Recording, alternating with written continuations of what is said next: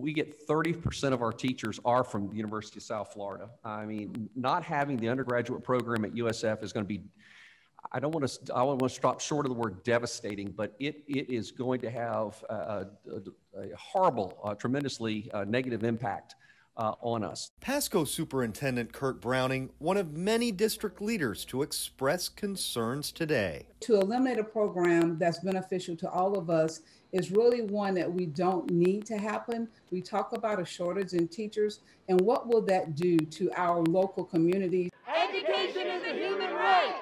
Students on the USF campus also rallying to save the undergraduate program. Taking everything away from the College of Education just isn't right.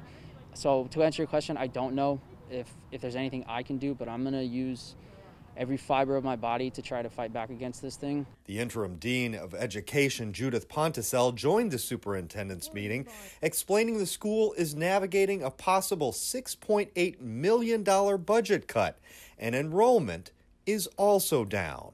We also know that we have had a 63% decline in enrollment at the undergraduate level. And nationally, we are seeing um, a decrease in the number of students that get a degree, a bachelor's degree in education.